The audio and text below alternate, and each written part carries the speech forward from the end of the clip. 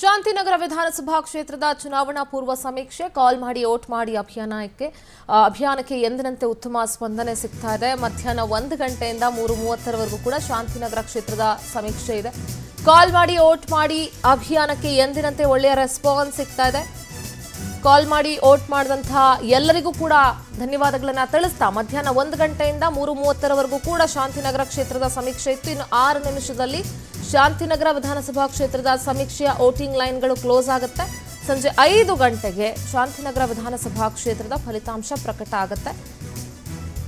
ಇಲ್ಲಿಯವರೆಗೂ ಕೂಡ ಕಾಲ್ ಮಾಡಿ, ವೋಟ್ ಮಾಡಿ ಅಭಿಯಾನಕ್ಕೆ ಒಳ್ಳೆಯ ರೆಸ್ಪಾನ್ಸ್ ಅನ್ನ ನೀಡ್ತಾ ಬಂದಿದ್ದೀರಿ. ಇವತ್ತಿನ ಎರಡನೇ ವಿಧಾನಸಭಾ ಕ್ಷೇತ್ರ, ಶಾಂತಿನಗರ ವಿಧಾನಸಭಾ ಕ್ಷೇತ್ರ.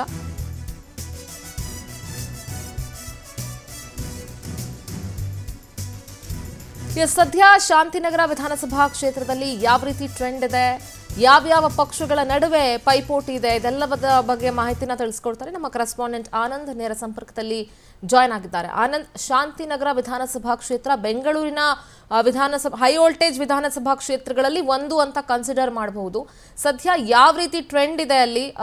ಅಲ್ಲಿನ ಮತದಾರರ ಒಲವು ಯಾವ ಪಕ್ಷದ ಕಡೆ ಇದೆ? ಮತ್ತೆ ಪಕ್ಷಗಳ ಬಲಾಬಲ ಹೇಗಿದೆ? ಸಿಂಧೂರ ಪ್ರಮುಖವಾಗಿ ಶಾಂತಿನಗರ ವಿಧಾನಸಭಾ ಕ್ಷೇತ್ರದಲ್ಲಿ ಪ್ರತಿ ಬಾರಿಯೂ ಕೂಡ ತ್ರಿಕೋನ ಸ್ಪರ್ಧೆ ಏರ್ಪಡುತ್ತೆ. ಆದ್ರೆ ಕಳೆದ ಒಂದು ಮೂರು ಎಲೆಕ್ಷನ್ಗಳಿಂದ ಕಾಂಗ್ರೆಸ್ ಭದ್ರಕೋಟೆ ಆಗಿರ್ತಕ್ಕಂಥದ್ದು ಕಳೆದ ಮೂರು ಬಾರಿನೂ ಕೂಡ ಕಾಂಗ್ರೆಸ್ ಪಕ್ಷದಿಂದ ಎನ್ ಎ ಹಾರಿಸ್ ಅವರು ಸತತವಾಗಿ ಹ್ಯಾಟ್ರಿಕ್ ಗೆಲುವನ್ನ ಸಾಧಿಸಿರ್ತಕ್ಕಂಥದ್ದು. ಈ ಬಾರಿ ಸಿಚುವೇಶನ್ ಆ ತರ ಇಲ್ಲ. ಬಿಜೆಪಿಯಿಂದ ಪ್ರಬಲ ಅಭ್ಯರ್ಥಿಯನ್ನ ಕಣಕ್ಕೆ ಇಳಿಸೋದಕ್ಕೆ ತೀರ್ಮಾನವನ್ನ ಮಾಡ್ಕೊಂಡಿದ್ದಾರೆ.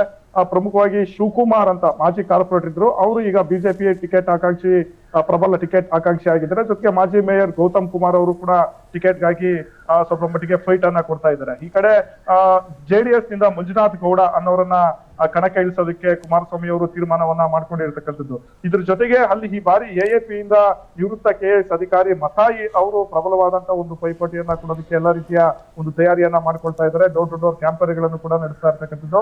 ಇದ್ರ ಜೊತೆಗೆ ಆ, ಉಪೇಂದ್ರ ಸ್ಥಾಪನೆ ಮಾಡಿರ್ತಕ್ಕಂಥ ಉತ್ತಮ ಪ್ರಜಾಕೀಯದಿಂದಲೂ ಕೂಡ ಅಭ್ಯರ್ಥಿಗಳು ಕಣಕ್ಕೆ ಇಳಿತಾ ಇದ್ದಾರೆ. ಹಾಗೆ ಆ, ಕರ್ನಾಟಕ ರಾಷ್ಟ್ರ ಸಮಿತಿ ಪಾರ್ಟಿಯಿಂದಲೂ ಕೂಡ ಅಭ್ಯರ್ಥಿ ಕಣಕ್ಕೆ ಇಳಿತಾ ಇರ್ತಕ್ಕಂಥದ್ದು.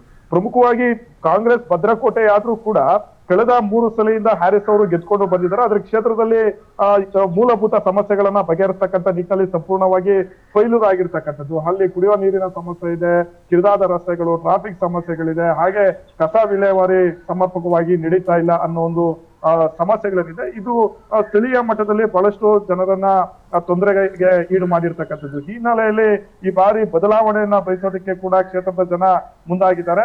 ಈ ಕಡೆ ಪ್ರತಿ. ಬಾರಿನೂ ಕೂಡ ಎರಡನೇ ಸ್ಥಾನಕ್ಕೆ ತಲುಪ್ತಾ ಇರ್ತಕ್ಕಂಥ ಬಿಜೆಪಿ ಏನಿದೆ. ಈ ಬಾರಿ ಬಿಜೆಪಿನೂ ಕೂಡ ಬಹಳಷ್ಟೊಂದು ರಣತಂತ್ರಗಳನ್ನ ರೂಪಿಸ್ತಾ ಇರ್ತಕ್ಕಂಥದ್ದು. ಮೂಲಭೂತ. ಸೌಕರ್ಯಗಳನ್ನ ಕೊಡ್ತೀವಿ ಅಂತ ಹೇಳಿ ಅವರು ಎಲ್ಲಾ ರೀತಿಯ ಒಂದು ಡೋರ್ ಟು ಡೋರ್ ಕ್ಯಾಂಪೇನ್ ಮಾಡೋದಕ್ಕೆ ಮುಂದಾಗಿದ್ದಾರೆ. ಹಾಗಾಗಿ ಈ ಬಾರಿ ತ್ರಿಕೋನ ಸ್ಪರ್ಧೆ ಕ್ಷೇತ್ರದಲ್ಲಿ ಏರ್ಪಡುತ್ತೆ ಸಿಂಧೂರ.